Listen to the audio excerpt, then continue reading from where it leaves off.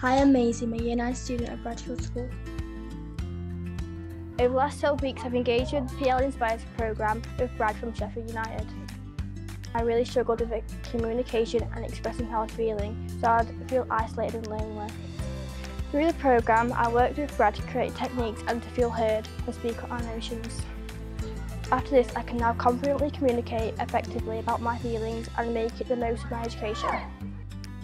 On the programme, I learned about how to be resilient. Before working the programme, I found certain classroom environments difficult to be in and resulted in me walking away, which ended up in conversation about suspension and me becoming more frustrated in school. Overall, I've become a better individual. I have learned how to be more confident in the classroom, dealing with situations where I would normally struggle.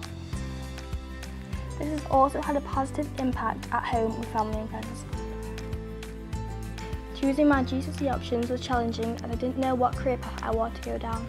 Conversations within the mentoring sessions allowed me to realise how using my passion for art could influence my job decision. From this I've come to the conclusion I want to be tattooist.